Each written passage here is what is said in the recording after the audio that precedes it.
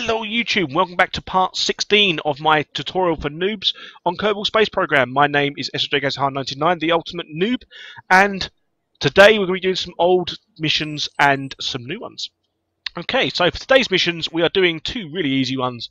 We've got to test the Rockomax Mark 55 radial mount liquid fuel engine. Um, again, it's a 14 science mission, so you might as well get it done and get some extra science on there because every bit of science helps. Uh, we got the testy TT70 radial decouplers while landed at Kerbin. Again, another 14 science. Can't can't ask for more. And the next one is to test the Mark 16 XL parachute in flight over Kerbin. So again, this one is a speed and height test. Um, I know this rocket that I've built actually gets to that height. It's a bit hairy. It's a little bit hairy. Um, it's pretty close call when it comes to fuel, but you can get it into the air. You can get it to the right speed, and you can get it to uh, detach the parachute as well. It's not a problem. So we are going to close this one and we are pretty much going to go into the VAB and see my build. So here we go. And there it is. That's pretty much what it is. It's just a the big large parachute, which is um, I'll show you where that is, which is right here. This is the Mark 16 XL parachute uh, with a standard pod. You've got a control wheel, a detachment, the two liquid fuel engines to power, uh, sorry, two liquid fuel tanks to power the four engines that I've got on the bottom here, and two decouplers. It's as simple as that. It's all you really need. So again, 10,950 kuros. Um, that is saved, and we might as well just launch straight away. Now, this is my second attempt at this video. Uh, in the first attempt, um, I flipped the ship over, and for some reason, uh, this clip the bottom of this, and Jebediah fell to his death. Now, I've pretty much saved Jebediah pretty much throughout this entire series so far. He has survived and pretty much been my main test pilot on all of my missions. So in order to save his life, I decided to start again. so there you go. That's pretty much how, how that was.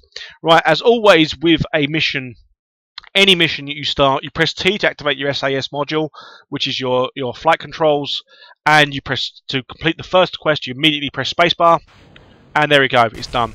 The second quest, again, to launch it in 3, 2, 1, completes the second quest, and away you go. Now, the fuel to weight ratio is three times, so it's, it's extremely efficient, this rocket. It'll get you to the height you need to be. Um, I keep the thrust ratio down because you don't need to be going that fast um, and burning that much fuel, to be honest. You only literally need to be going, as long as you're going up, um, your fuel will go down quite nicely. It'll increase the time of delta V that you have, and you'll get into get into um, about 25,000 meters pretty easily. So um, we want to go down to here, scroll down. We want 25,000 meters to 33,000 meters between 380 and 680 meters a second. So as we go up, you'll see the speed is going up.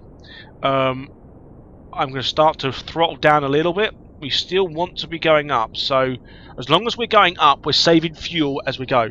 So that's pretty much what I'm doing right now. I don't mind about the height. I'm, I'm concerned about fuel, of course, but I know I've got 15,000, um, 1500 delta V still left to go. I've still got a minute and five seconds of burning to do. Speed's coming up nicely.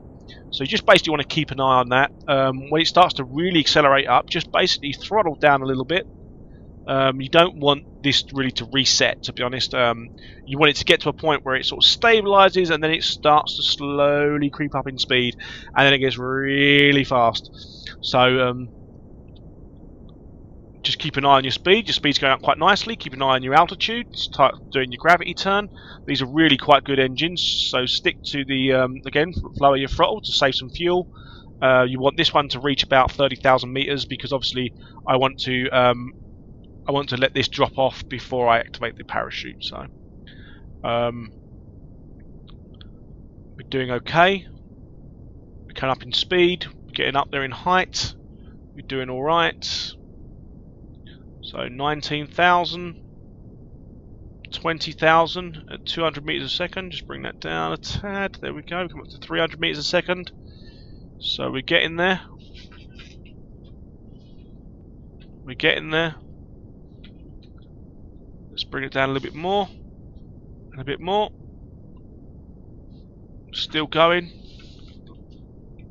We've got plenty of fuel. Now you want to throttle up a little bit. There we go. Right speed. Right height. Activate the parachute. Now. And that's that quest completed. Nice and simple, nice and easy.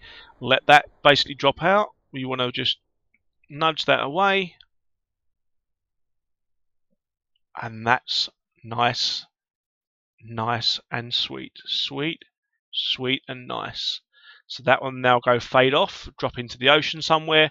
We're going to come down and the test is actually done. It's complete and it's all good. So we are going to basically just speed this up so we can slowly fall back down to the planet.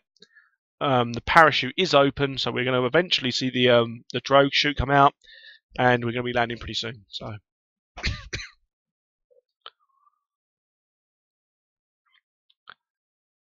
So yeah, nice and simple, as easy as that. It's um, it's pretty pretty simple to sort out, pretty simple to deal with. Um, obviously, when I get down to about 500 meters, I want to just drop the uh, the time skip.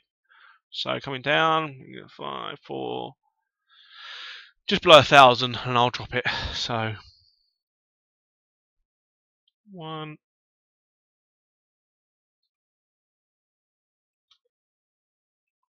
nice big parachute. That's what I like to see. Coming down at 4.3 meters a second, which is still quite quickly to be dropping down uh, at that speed. And you can see um, the moon. There he is, right there.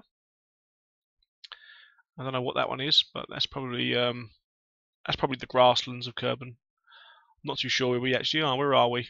Where did we end up? In the deep ocean there somewhere. and that's where we ended up.